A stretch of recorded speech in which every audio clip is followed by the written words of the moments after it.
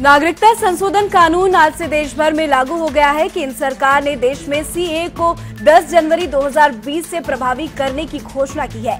इस संबंध में केंद्रीय गृह मंत्रालय ने अधिसूचना जारी करते हुए कहा कि इस कानून के तहत पाकिस्तान, बांग्लादेश और अफ़गानिस्तान से गैर मुस्लिम शरणार्थियों को भारतीय नागरिकता प्रदान की जाएगी। पीएम मोदी शनिवार, रविवार को कोलकाता बंदरगाह ट्रस्ट की 150वीं वर्षगांठ के मौके पर आयोजित समारोह में शामिल होंगे। इसके अलावा पीएम मोदी अन्य धरोहर इमारतों को भी राष्ट्र को समर्पित करने जा रहे हैं। प्रधानमंत्री कार्यालय ने जानकारी देते हुए बताया कि शनिवार को प्रधानमंत्री कोलकाता में चार धरोहर इमारत को राष्ट्र को समर्पित करेंगे। केंद्रीय गृह मंत्री अमित शाह गुजरात के दौरे पर हैं। गांधीनगर में विश्वास और साइबर आश्वस्त परियोजना के उद्घाटन के अवसर पर अमित शाह ने कहा कि केंद्र और राज्य सरकारों द्वारा प्रौद्योगिकी के अधिकतम उपयोग के माध्यम से अपराधों पर अंकुश लगाया जा सकता है। यूपी कांग्रेस कमेटी की ओर से पार्टी नेताओं के लिए 15 जनवरी से रायबरेली के भूएमाऊ गेस्ट हाउस में चार दिवसीय राज्य प्रशिक्षण शिविर का आयोजन किया जा रहा है। इसमें कांग्रेस की नवगठित प्रदेश कमेटी के साथ जिला शहर अध्यक्षों का प्रशिक्षण दिया जाएगा। प्रशिक्षण शिविर में चारों दिन यूपी कांग्रेस प्रभारी प्रियंका गांधी वाड्रा के साथ राष्ट्रीय स्तर के नेता शिरकत करेंगे।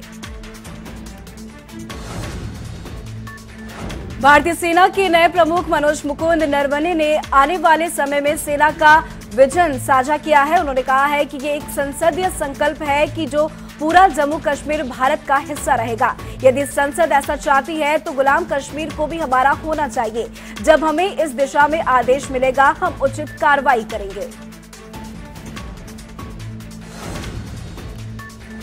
कन्नौज में शुक्रवार रात भीषण बस हादसा हो गया। जीटी रोड हाईवे पर डबल डेकर बस और ट्रक में टक्कर हो गई, जिसके बाद बस में भीषण आग लग गई। इस हादसे में 21 लोगों के मरने की आशंका जताई जा रही है, वहीं 21 लोग झुलस गए हैं। बस फरुखाबाद की थी, जो कन्नौज के गुरासंगागंज से जयपुर जा रही थी। इस बस में करीब 45 यात्री सवार थे। हादसे में घायल हुए लोगों को कन्नौज के अस्पताल में भर्ती कराया गया है। देर रात आग पर काबू पा लिया गया, लेकिन बस पूरी तरह जलकर खाक हो गई। हादसे के बाद घायलों को सर सैया हॉस्पिटल ले जाया गया। मामले में प्रत्यक्षदर्शियों का कहना है कि बस पूरी तरह से यात्रियों से भरी हुई थी। बस में आग लगने के बाद वहाँ अफरा तफरी का माहौल बन गया। प्रत्यक्षदर्शियों का कहना है कि टक्कर के बाद बस में भीषण आग लग गई। लोगों ने बस से निकलने की कोशिश की। प्रत्यक्षदर्शियों की माने तो बस पूरी तरह से भरी हुई थी। उत्तर प्रदेश के कन्नौज में हुए भीषण सड़क हादसे को लेकर प्रधानमंत्री नरेंद्र मोदी ने ट्वीट करके शोक जताया है। पीएम मोदी ने लिखा कि हादसे के बारे में जानकर अत्यंत दुख पहुँचा है। इस दुर्घटना में कई लोगों को अपनी जान गंवानी पड़ी है। मैं मृतकों के परिजनों के प्रति अपनी संवेदनाएँ प्रकट करता हूँ, साथ ही घायलों के शीघ्र स्वस्थ होने की कामना करता हूँ। गृह मंत्री अमित शाह ने कहा, कन्नौज में हुई सड़क दुर्घटना से अत्यंत दुखी हूँ। इस भीषण हादसे में जिन लोगों ने अपने परिजनों और दोस्तों को खोया है, उनकी इस अपूर्णीय क्षति पर अपनी संवेदनाएँ व्यक्त करता हूँ और घायलों के शीघ्र ही स्वस्थ होने की कामना करता हूँ।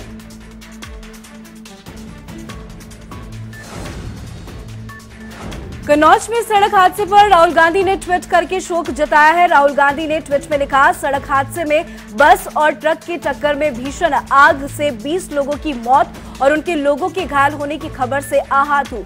मृतकों के परिवार में मैं अपनी गहरी संवेदना व्यक्त करता हूँ और घायलों के जल्द स्वस्थ होने की कामना करता हूँ।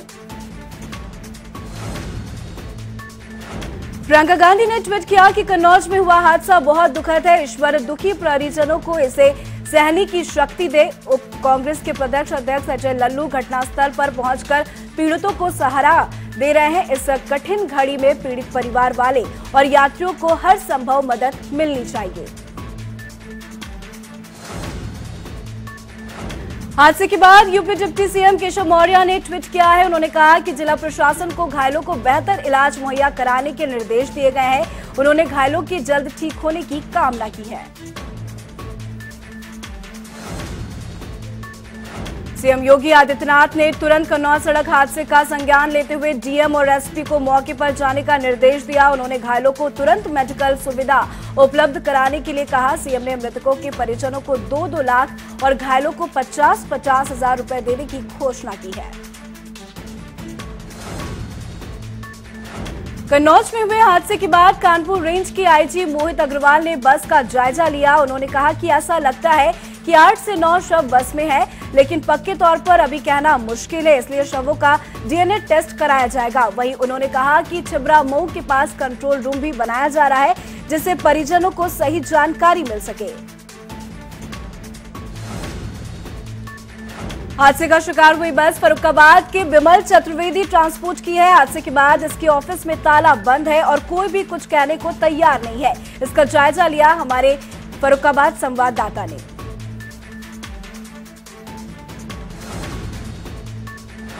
हादसे के बाद छिबरामऊ की एमएलए अर्चना पांडे और डीए रविंद्र कुमार अस्पताल पहुँचे और घायलों का हालचाल लिया। एमएलए अर्चना पांडे ने घायलों के जल्द ठीक होने की उम्मीद जताई है। वहीं रविंद्र कुमार ने बताया कि बस फरुखाबाद से जयपुर जा रही थी। गंज में 25 लोग बस में चढ़े थे, जबकि छिबरा मऊ में 17 लोग इसमें सवार हुए थे। वहीं तीन लोग बस के स्टाफ थे। हादसे में झुलस गए 21 लोगों को सर सैया हॉस्पिटल ले जाया गया। उनमें तेरह की गंभीर हालात को देखते हुए उन्हें तिरवा मेडिकल कॉलेज रेफर कर दिया गया। तो कन्नौज में एक बार फिर सड़क हादसा हुआ है। घने कोहरे के चलते दो ट्रकों की टक्कर हो गई है। हादसा इतना भीषण था कि चालक ट्रक में फंसा रह गया। ग्रामीणों ने ट्रक चालक को बाहर निकाला है।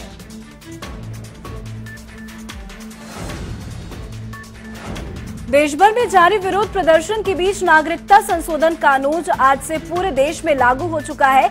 इसी कड़ी में उत्तर प्रदेश के मुख्यमंत्री योगी आदित्यनाथ देश के दूसरे राज्यों में भी सभाएँ करेंगे। योगी आदित्यनाथ नागरिकता संशोधन कानून पर आज मध्य प्रदेश के ग्वालियर में जनसभा को संबोधित करेंगे।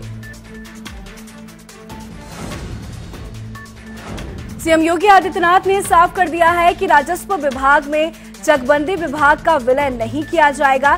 सीए से मुलाकात के बाद प्रदेश के तहसीलदार संघ ने इस बात की जानकारी दी है। संघ के पदाधिकारियों के मुताबिक इस फैसले से राजस्व विभाग को बड़ी राहत मिली है। मुलाकात के दौरान ही सीए ने मुख्य सचिव से तहसीलदारों की तमाम समस्याओं को प्राथमिकता के आधार पर हल कराने की भी बात कही है। एसएसपी बैभव कृष्णा के बाद अब उनके करीबी पुलिस कर्मियों पर कार्रवाई शुरू हो गई है। वायरल वीडियो की जाँच में मेरठ के पत्रकारों से बदसलूकी करने वाले सीओ का तबादला हो गया है। इसके अलावा नोएडा में तैनात सीओ श्वेताब पांडे को भी हटाया गया है। श्वेताब पांडे, सीबी आईसीडी भेजे गए हैं। सीओ के साथ नोएडा के तीन कोतवाली हटाए जा रहे हैं। थाना प्रभारी सेक्टर 20 के राजवीर चौहान, थाना प्रभारी फ़ेज़ तीन के देवेंद्र सिंह यादव, थाना प्रभारी नॉलेज पार्क बलजीत सिंह भी कार्रवाई की जद में है। तीनों कोतवाल भी हटाए जा रहे हैं। केंद्रीय मंत्री और चंदौली से सांसद डॉक्टर महेंद्र नाथ पांडे ने कर्मनाशा नदी पर बन रहे डायवर्जन रूट का निरीक्षण किया है। इस दौरान उन्होंने मीडिया से बात करते हुए विपक्ष पर जमकर निशाना साधा। उन्होंने प्रियंका गांधी के वाराणसी दौरे पर भी प्रतिक्रिया देते हुए कहा कि प्रियंका पहले भी जलमार्ग से आई है, आज भी आई है, इसमें कोई फ़र्क नहीं पड़ने वाला। देश मोदी युग में अच्छा प्रशासन, सेवा और विकास का आनंद ले रहा है।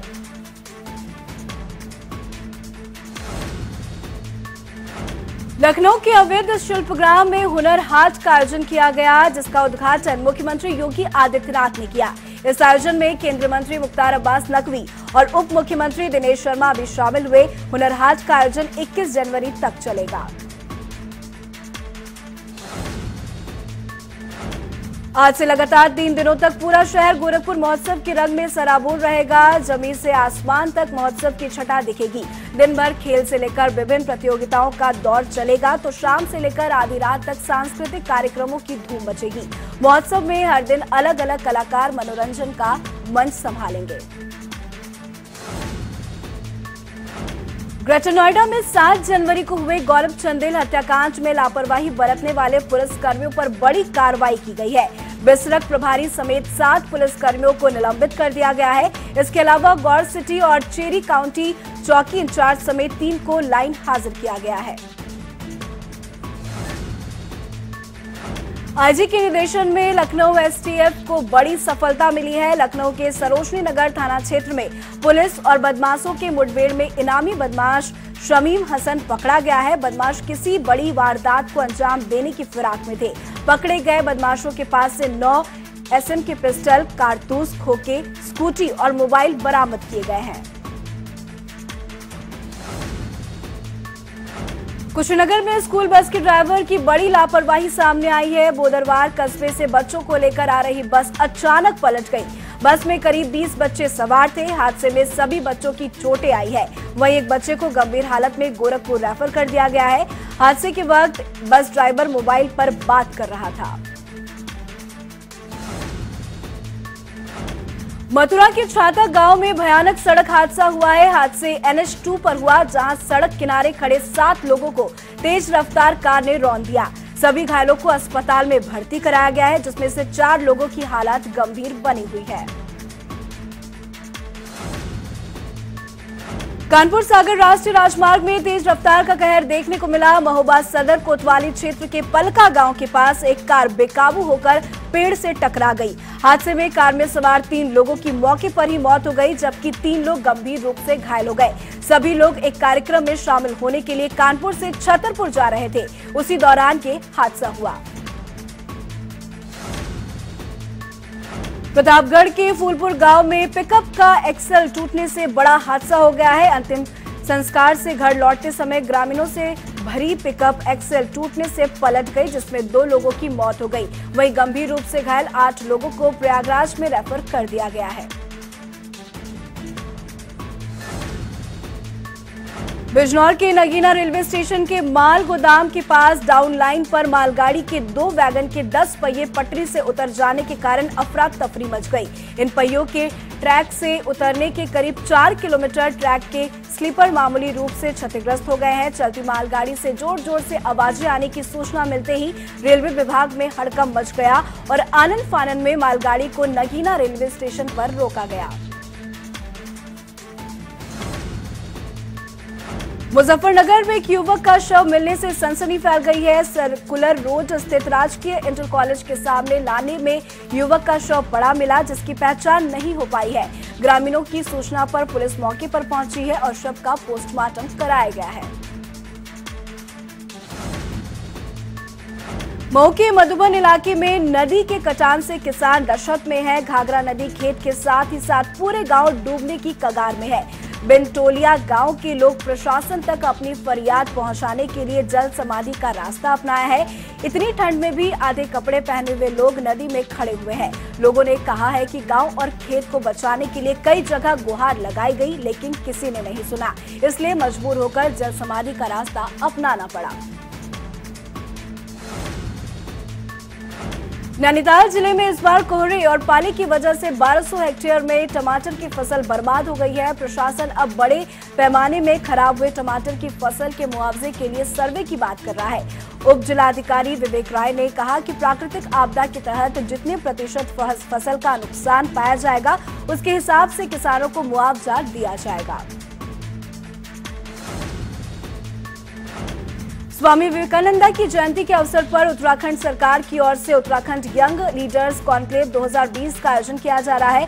मुख्यमंत्री त्रिवेंद्र सिंह रावत ने निर्देश पर आयोजित हो रहे दो दिवसीय कार्यक्रम में राज्य और राष्ट्र के चारों ओर से आए हुए युवा और नवोदित बुद्धिजीवी वर्ग भाग लेंगे। बारह जनवरी को त्रिवेंद्र सरकार की कैबिनेट बैठक होगी। रविवार को नववर्ष में दूसरी ई कैबिनेट बैठक का आयोजन शाम चार बजे सचिवालय में होगा। कैबिनेट बैठक में सर्किल रेट निर्धारित समेत कई अहम मुद्दों पर फैसला हो सकता है। इस साल का पहला चंद्र ग्रहण खत्म हो चुका है। इसकी अवधि चार घंटे से ज़्यादा की थी। साल के पहले चंद्र ग्रहण की खास बात ये रही कि दुनिया के अन्य भागों के साथ साथ ये भारत में भी दिखाई दिया। ये ग्रहण शुक्रवार रात से शुरू होकर शनिवार तड़के करीब दो बजकर चौवालीस मिनट तक रहा था। चंद्रग्रहण भारत समेत यूरोप, ऑस्ट्रेलिया और अफ्रीका के कई हिस्सों में भी दिखाई दिया था।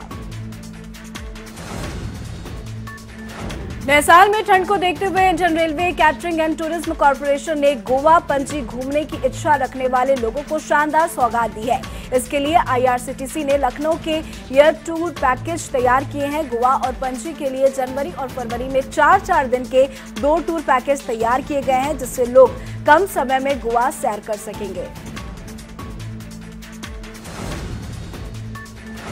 केरल के मरादू में अवैध इमारतों को गिराया जा रहा है। अवैध इमारतों को ढाने की ये कार्रवाई शनिवार और रविवार दो दिन चलेगी।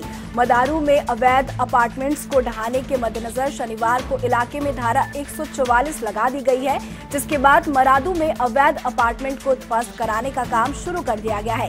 इसी कड़ी में जब H H Holy Faith apartment tower को ढहा गया तो पल भर में ही बहुमंजिला इमारत जमी हो गई।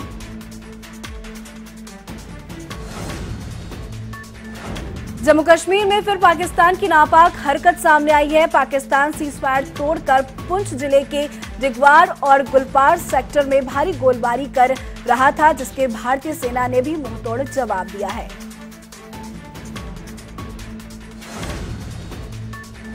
ईरान ने शनिवार को स्वीकार लिया है कि उसकी सेना ने मानवीय चूक के चलते अनजाने में यूक्रेन के विमान को मार गिराया था। जिससे उसमें सवार एक सौ छिहत्तर लोगों की मौत हो गई थी। यह बयान शनिवार सुबह आया, जिसमें कहा गया था कि मानवीय चूक के चलते ये दुर्घटना हुई। इससे पहले ईरान ने कई दिनों तक विमान को गिराने की बात से इनकार किया था। लेकिन अमेरिका और कनाडा ने कहा था कि उन्हें विश्वास है कि ईरान ने ही विमान को मार गिराया है।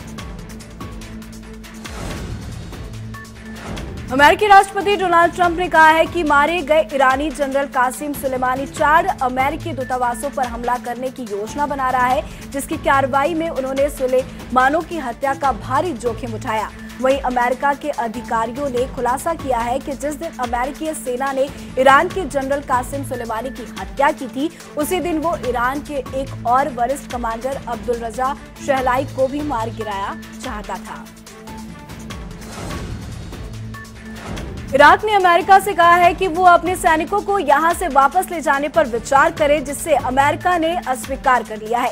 इराक चाहता है कि ईरान और अमेरिका की जंग का मैदान इराक न बने, इसलिए अमेरिका इराक से अपने सैनिकों को हटाए। इराक के कार्यवाहक प्रधानमंत्री आदिल अब्दुल महदी ने अमेरिकी विदेश मंत्री माइक पॉम्पियो को फ़ोन कर सेना वापसी पर विचार करने के लिए कहा। भारत ने श्रीलंका को पुणे में खेले गए आखिरी और निर्णायक टी मैच में अठहत्तर रनों से मार देकर तीन मैचों की टी सीरीज़ पर दो सोने से कब्जा कर लिया है और इसके साथ ही 2020 की पहली सीरीज़ अपने नाम कर ली है। आईसीसी की क्रिकेट समिति चार दिन के टेस्ट मैच को लेकर चर्चा करेगी, लेकिन इस बात की पूरी संभावना है कि बीसीसीआई इस पर राज़ी नहीं होगा, क्योंकि भारतीय बोर्ड ने कप्तान विराट कोहली और कोच रवि शास्त्री के साथ जाने का फैसला किया है और ये दोनों चार दिन के टेस्ट मैच का विरोध कर चुके हैं। कल पुणे में खेले गए आखिरी टी ट्वेंटी मुकाबले में एक विकेट लेते ही बुमराह में अपने नाम एक रिकॉर्ड कर लिया है। कल बुमराह ने पहला विकेट लेते ही बुमराह टी ट्वेंटी इंटरनेशनल में भारत की तरफ़ से सबसे अधिक विकेट लेने वाले गेंदबाज बन गए हैं। बुमराह और चहल बावन बावन विकेट लेकर पहले स्थान पर है। वर्ल्ड चैंपियन भारत की स्टार बैडमिंटन खिलाड़ी PV Sindhu Malaysia Masters tournament से बाहर हो गई है। क्वार्टर फाइनल मुकाबले में सिंधु की चौनी ताइपे ताई जू इंग से 21-16, 21-16 ने हराकर टूर्नामेंट से बाहर कर दिया।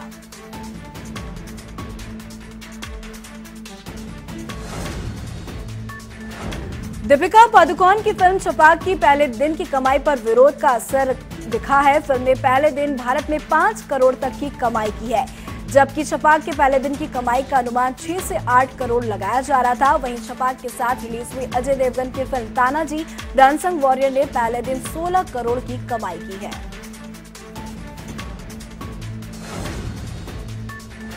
बॉलीवुड फ़िल्म निर्देशक करण जौहर इस समय ताजमहल का दीदार करने आगरा आए हुए हैं। करण जौहर ने बताया कि ताजमहल की खूबसूरती बेमिसाल है। करण जौहर ने कहा कि वो जल्द आगरा में फ़िल्म की शूटिंग कर सकते हैं। ताज दीदार से पहले करण जौहर फतेहपुर सीकरी भी गए थे। रणवीर सिंह की मोस्ट अवेटेड फ़िल्म 83 का पोस्टर रिलीज़ कर दिया गया है। पोस्टर में सिर्फ़ 83 लिखा हुआ दिख रहा है। रणवीर ने इस फ़ोटो को शेयर करते हुए लिखा इट्स कमिंग इसके बाद रणवीर ने फ़िल्म से पहले करेक्टर का पोस्टर भी रिलीज़ किया था। दरअसल सुनील गावस्कर का किरदार निभा रहे ताहिर राज भसीन का पोस्टर रिलीज़ किया गया है। पोस्टर में ताहिर सुनील गावस्कर की तरह मैचिंग करते हुए दिखाई दे रहे हैं। सलमान ने अपनी आने वाली फ़िल्म का ऐलान कर दिया है। उन्होंने ट्वीट करके बताया कि उसकी नई फ़िल्म कभी ईद, कभी दिवाली होगी। सलमान के इस ट्वीट के बाद अक्षय कुमार ने उन पर चुटकी लेते हुए लिखा, कभी ईद, कभी दिवाली के लिए मेरे दोस्तों, साजिद नाडेवाला सलमान खान और फरहाद सामजी को बधाई। आप सभी को शुभकामनाएँ। इसके सीक्वल के लिए एक सुझाव भी है, कभी ईद, कभी क्रिसमस